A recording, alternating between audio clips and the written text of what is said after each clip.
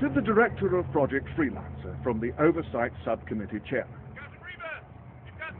Dear Director, I want to thank you in advance for your openness in response to our subcommittee's request for more information. We were disappointed that your recovery force reported a total loss at Outpost 17B. We had hoped there would be at least one soldier left that could shed some light on the situation. I know that your agency has enjoyed a high degree of freedom with very little scrutiny in the past few years. It is not our intention to disrupt such a progressive military program, but instead to find a way we can work together in a manner that befits all our responsibilities. I am certain that you will agree, and we look forward to making this review process as painless as we possibly can. Thank you, gentlemen. Would you please excuse us? You are Private Walter Henderson, correct? Yes, sir. You can dispense with the formalities, Walter. Please feel comfortable to speak as candidly as you wish. Can you tell us what happened at your outpost, Walter? Yes, sir. Uh, yes. Uh, I had been there about six months. Everything was pretty much like normal, and one day this ship crashed. I see. Is this the ship to which you are referring? Yeah. Yeah, that's it. Please, tell me what was on the ship, Walter. I don't know. The Blues got there first. They fought us off while they cleared it out. Took the stuff back to base. By the time we got a hold of it, it just seemed like a regular old transport. Our engineer said some of the wiring had been messed with, but he didn't seem, you know, worried about it or nothing like that. I see. Thank you for that. But whatever was on the ship must have been what started the whole thing. Please, Walter, define thing. The infection. Blues just stopped fighting us. Some of them set up camp outside their base and trapped the rest of their team inside. Blew up their com tower for some reason. Their own com tower. Then they blew up ours. That's why we couldn't radio for help. We couldn't figure out why they would do that. After that, nothing. No word from them at all. The CO sent a squad over. All the Blues were dead. They had killed each other. Please, continue. We brought all the equipment back to base and brought it online.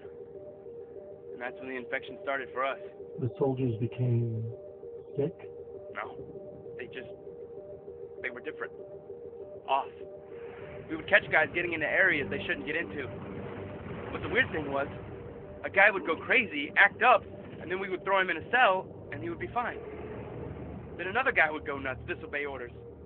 Like trying to bring the com tower back online even though we were told to leave it be. They knew it was coming. They knew what was coming. At first, we thought it was help. It ransacked Blue Base, searched all the bodies. Then it came after us. It seemed focused on the guys that were infected. Eventually, it just started killing everything. Could you describe it for us, Walter? Not really. It moved fast when we first saw it, and after Blue Base, it was. it was different. In what way different? It looked like it wasn't there. I don't know how to explain it. That's all right. I know this has been difficult for you, Walter. We're going to do everything we can to help you. Please, follow these men to your new quarters. You'll be with us as long as absolutely necessary. You have my word. Agent Washington, what do you make of all this?